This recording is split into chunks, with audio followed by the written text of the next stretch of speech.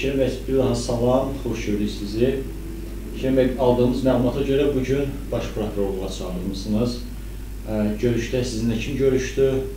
Nə üçün çağırılmışdınız? Səbəb nə idi?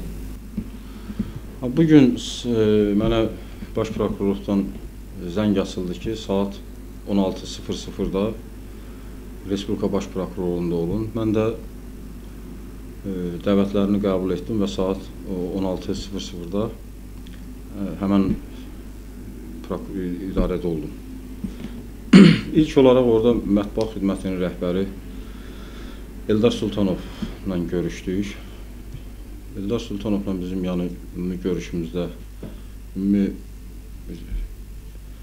normal bir söhbətlərimiz oldu. Yəni bildirdi ki, mətbuatla, yəni prokurorluq arasında olan e, məsələlər, yəni sorğular, hər hansısa bir e, lazım olan məlumatı öyrənmək bizim yəni istənilən vaxtı e, mövqeyimiz e, açıqdır, münasibətimiz də normaldır. Həmişə mətbuatı dinləməyə hazırıq. Və bəzi məndə yəni e, saytımızda gündəm xəbər nöqtəaz saytında və gündəm xəbərə aid olan e, Facebook səhifəsində e, yazılar dərc olunur və həmin yazılarla da bağlı ümumi bir müzakirələrimiz oldu. Yəni burada e, elə bir yəni belə bir böyük, yəni bir ciddi tutaq ki, hansısa bir narahat olunacaq bir əsas yoxdur. Sadəcə prokurorluq da çağırdı, biz də mətbuat rəhbəriyəm və mən də ora dəvəti qəbul etdim, getdim, danışdıq, söhbət elədik, ümumi müzakirələr apardıq. Yəni danışıqlarımızdan da e, razı qaldım, sözün açığı. Amma bəzi məsələlərdə biraz e, o tutaq ki, bizdə açıqlama gedir, hər hansısa bir məsəl üçün hüquq müdafiəçisi Oqtay Gülaliyevin dünənlərin e, bir açıqlaması e, belə götürəndə e, baş prokurorluğun Bəybala Hüseynov var, iş adamı. Onun e, evladı ilə bağlı, yəni e, dünyasını dəyişmiş övladı ilə bağlı Türkiyədə.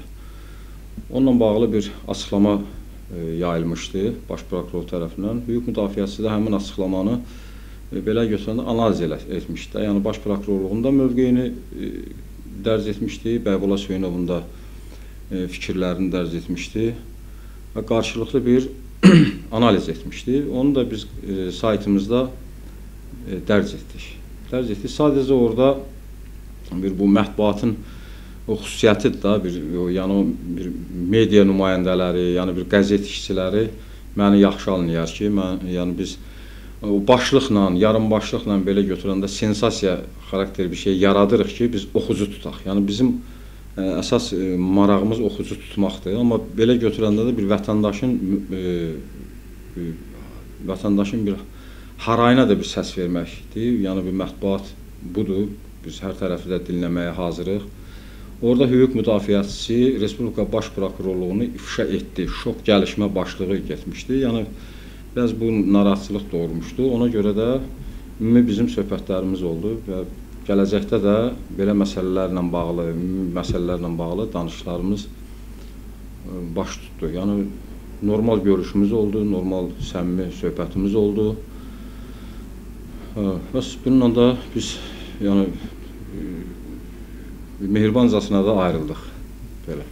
Şirin bəy, son dövrlərdə kütləvi informasiya vasitələri nümayəndələrinə qarşı müəyyən təzyiqlər olunur, dövlət orqanlarına çağırılırlar, peşə fəaliyyətlərlə bağlı vəsaitlərlə orada saxlanılıb, dindirilirlər. Sizcə mətbuata qarşı, media işçilərinə qarşı edilən bu təzyiqlər nəyin nəticəsidir? Ümumiyyətlə mətbuata qarşı e, həmişə təzyiqlər olubdur. Bu təzyiqlərlə də bağlı biz e, səsimizi qaldırmışıq. Həmişə də biz e, Azərbaycan dövlətini mətbuata qarşı ol, məmurlar tərəfindən olan təzyiqlərin qarşısını almağa çağırmışıq və e, bu da düzdür, olub həmişə, yenə də var. Yenə də var. Biz bununla bağlı öz etiraz səsimizi çıxartmışıq çox vaxtı. Elə belə olan halda bəzi məmurlar tərəfindən də təzyiqlərə də məruz qalmışıq. Bunu hər kəs yaxşı bilir.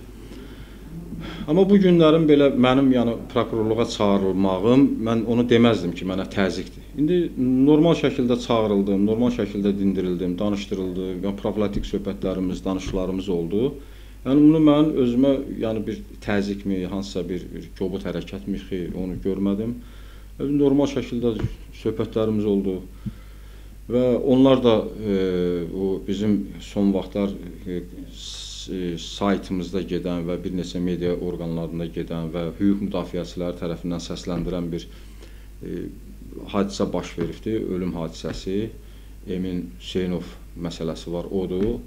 Bu məsələni e, böyük bir müzakirə mövzusuna çevrilibdi respublikada.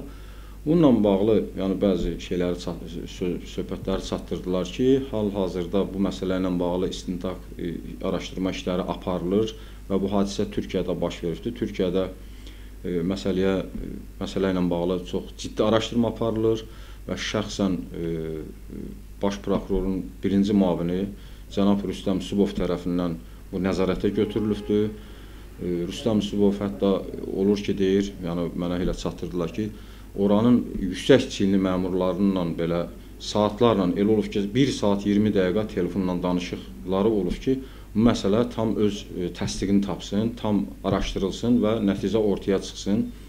Həm də bir e, valideyn kimi hər kəs bir valideyn kimi narahatçılıqlarını da bildirdilər ki, biz özümüz də bir valideynik və bunun da e, hansı hissiyatları, yəni Bəybala Söyənovun hansı hissiyatlarını keçirməsini də biz anlayırıq, biz onu hiss eləyirik və buna görə də biz istəyirik ki, bu məsələ tam təsdiqini tapsın, tam araşdırılsın və o da bir ata olaraq hər şeyi bilsin və öz e, içində bir təskinlik tapsın. Mən də bunların, yəni bu fikirlərini çox yüksək səviyyədə qəbul etdim və dəstəklədim ki, bəli, elə yəni bu lazımdır, bir insandır. İnsan taleyinə biganə yanaşmaq olmaz. Onlar da bildirir ki, biz insan taleyinə heç vaxt biganə yanaşmırıq. Bizim də özümüz də bir valideynik ən əsas götürəndə. Həm də bizim əməkdaşımız olubdur. Emin Hüseynov, yəni bizim öz əməkdaşımız olub, elə bil bizim evimizin bir uşağı olubdur. Biz təbii ki, bu məsələni arayıb, araşdırıb, bu məsələnin tam çırpaqlığını, tam şəffaflığını ortalığa qoymalıyıq.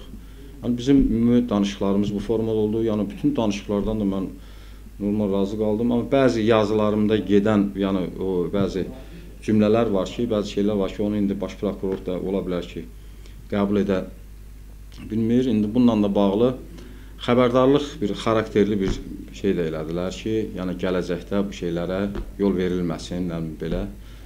Yəni ümumi olan söhbətlər də belə.